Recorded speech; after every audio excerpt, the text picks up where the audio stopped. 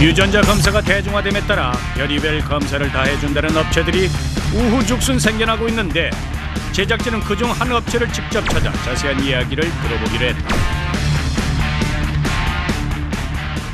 여기서는 어디까지 할 수 있나요? 여기는 이제 타고난 성향, 기질상 아이들이 어, 행동 패턴이 나와요. 어떤 원리예요? 이거는 이제 지문이 모태 13주에서 19주 형성이 돼요.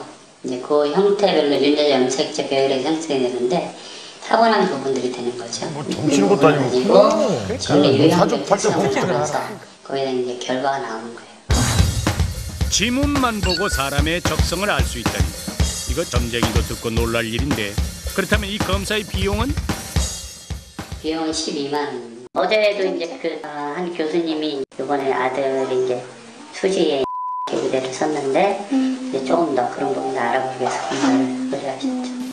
또 다른 업체 이곳은 유전자 검사를 통해 비만을 예측 결과에 따라 다이어트 프로그램도 설계해주고 각종 암도 예측한다는데 이제 유전자 검사 방식은 요거는 이제 유전인자가 비만인자가 어떤 비만인자가 있냐를 찾죠. 유전자 검사는 네 가지를 해요. 이제 뼈에 대한 거, 골다공증이 나오느냐. 그 다음에 이제 방금 한 비만 유전자 검사. 영양 반응에서 내몸 앞으로 우리 몸, 내 몸에 혹시나 암이 올 수 있는가.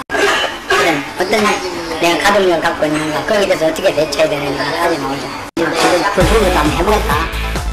업체의 검사 실적을 보여주는 관계자 그렇다면 검사 비용은 얼마나 될까 가격이 얼마 정도 하는지. 비만 유전자 50만 원, 네 가지 다 하면 200만 원. 각종 유전자 검사 믿을 만한 건지 아닌지 누가 속 시원히 말 좀 해주세요 아니 무슨 다이어트 그뭐 업체에서 암 검사해주고 유전자 검사해주고 뭐 적성까지 알아봐주고 이게 말이 됩니까? 아닌 이게? 것 같아. 이게 미래의 뭐 성향을 다 알아맞히고 이럴 거면 이분이나 이분은 얼굴 때문에 이 세상 빛을 못 볼 수도 있고 저는 성향 때문에 지금 빛 보고 있잖아요. 못 볼 수도 있고 뭐 그럴 수도 있겠어요. 이게 좋은 게 아니야. 근데- 모르고 근데 나야지. 이제 정말 큰 병원이라든가 우리 종합병원이 큰 제대로 된 연구소에서 유전자 검사하면 실제로 도 네. 가능한 얘기 아닌가요, 이거? 특히 뭐 적성이나 호기심, 폭력성 이런 것도 한다고 하는데 그런 것들은 과학적으로 입증되지 않은 거라서 뭐 변호사님도 계시지만 생명윤리법에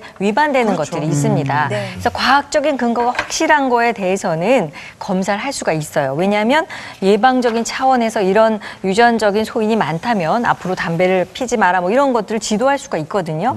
그러나 아무나 하는 게 아니라 허가된 기관에 의사나 의료인이 의료기관에서 어, 하, 이 사람은 해야겠다라고 판정을 한 사람은 하도록 되어 있고요. 그 외에는 생명윤리법상 위반이라 위법이라고